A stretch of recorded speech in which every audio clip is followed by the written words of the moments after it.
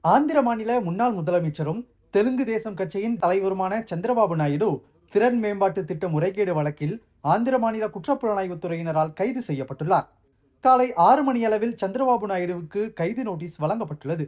அப்போது சந்திரபாபு தரப்பு வழக்கறிஞர்களும் கட்சி தலைவர்களும் போலீசாருடன் வாக்குவாதத்தில் ஈடுபட்டனர்.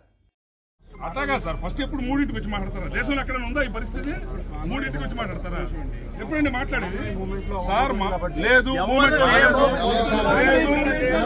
మీరు వెయిట్ మీరు எவ்வித அடிப்படை ஆதாரமும் இல்லாமல் சந்திரபாபு நாயுடுவை எப்படி கைது செய்யலாம் என அவரது வழக்கறிஞர்கள் போலீசாரிடம் கேள்வி எழுப்பினர் விசாரணை அறிக்கையை நீதிமன்றத்தில் சமர்ப்பிக்கும் போது அனைத்து விவரங்களையும் தெரிவிப்பதாக சந்திரபாபுவிடம் போலீசார் தெரிவித்தனர் கைதின் போது திறன் மேம்பாட்டு திட்ட ஊழல் வழக்கில் தன் பெயர் எங்கே இருக்கிறது என சந்திரபாபு போலீசாரிடம் கேள்வி எழுப்பினார். அதற்கு பதிலளித்த டிஐஜி ரகுராமி ரெட்டி எங்களிடம் ஆதாரம் உள்ளது உயர்நீதிமன்றத்தில் கொடுத்திருக்கிறோம். ரிமாண்ட் அறிக்கையில் அனைத்து விவரங்களும் உள்ளன என சந்திரபாபு தரப்பு வழக்கறிஞர்களிடம் விளக்கம் அளித்தார். போலீசார் சந்திரபாபுவை கைது செய்து விஜயவாடாவுக்கு அழைத்துச் செல்ல முயன்றனர். ஆனால் காவல்துறை மீது தனக்கு நம்பிக்கை இல்லை என்றும் தேசிய பாதுகாப்பு படையின் கண்காணிப்பில் தனது கான்வாயில் வருவதாகவும் சந்திரபாபு தரப்பில் தெரிவிக்கப்பட்டது. இதனை காவல்துறையினர் ஏற்றுக்கொண்டனர். கைது நடவடிக்கை தொடர்பாக தனது எக்ஸ் பக்கத்தில் பதிவிட்டுள்ள சந்திரபாபு நாயுடு கடந்த நாற்பத்தி ஐந்து ஆண்டுகளாக தன்னலமின்றி தெலுங்கு மக்களுக்கு சேவை செய்து வருகிறேன். தெலுங்கு மக்களின் நலன்களை பாதுகாப்பதற்காக என் உயிரை தியாகம் செய்ய தயாராக இருக்கிறேன். தெலுங்கு மக்களுக்கும் எனது ஆந்திர பிரதேசத்திற்கும் எனது தாய்நாட்டிற்கும் சேவை செய்வதை உலகில் உள்ள எந்த சக்தியாலும் தடுக்க முடியாது என குறிப்பிட்டுள்ளார். சந்திரபாபு நாயுடு கைது குறித்த பின்னணியை அறிய நாம் முதலில் திறன் மேம்பாட்டு கழகம் குறித்து தெரிந்து கொள்ள வேண்டும். ஒருங்கிணைந்த ஆந்திர பிரதேசம் இரு மாநிலங்களாக பிரிக்கப்பட்ட பிறகு ஆந்திர பிரதேச திறன் மேம்பாட்டு கழகம் என்பது தொடங்கப்பட்டது. அரசு தனியார் கூட்டுறவில் இது நடத்தப்படும் என அறிவிக்கப்பட்டிருந்தது. இளைஞர்களுக்கு பயிற்சி அளிப்பது வேலைவாய்ப்பு வழங்குவது உள்ளிட்டவை திறன் மேம்பாட்டு கழகத்தின் நோக்கமாக கூறப்பட்டது. இதற்காக தொழில்நுட்ப நிறுவனங்களுடன் திறன் மேம்பாட்டு கழகம் ஒப்பந்தம் செய்திருந்தது. அவற்றில் சீமன்ஸ் மற்றும் டிசைன்டெக் சிஸ்டம்ஸ் போன்ற நிறுவனங்களும் அடங்கும்.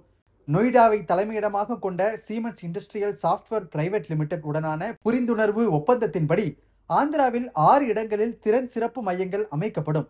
அங்கு இளைஞர்களுக்கு திறன்களை மேம்படுத்தும் வகையில் பயிற்சி அளிக்கப்படும் என குறிப்பிடப்பட்டிருந்தது. அரசின் பத்து சதவீத நிதி பங்களிப்புடனும் சீமென்ஸ் நிறுவனத்தின் தொண்ணூறு சதவீத நிதி பங்களிப்புடனும் இந்த திட்டம் முன்னெடுக்கப்படும் என அரசு தரப்பில் கூறப்பட்டிருந்தது. சீமென்ஸ் நிறுவனம் இரண்டாயிரத்தி பதினேழாம் ஆண்டு முதல் திறன் மேம்பாட்டு கழகத்துடன் இணைந்து செயல்பட்டு வருகிறது. சீமென்ஸ் மற்றும் டிசைன் டெக் நிறுவனங்களுடன் மூவாயிரத்து முன்னூற்றி ஐம்பத்தி ஆறு கோடி ரூபாய்க்கு ஒப்பந்தம் செய்யப்பட்டது.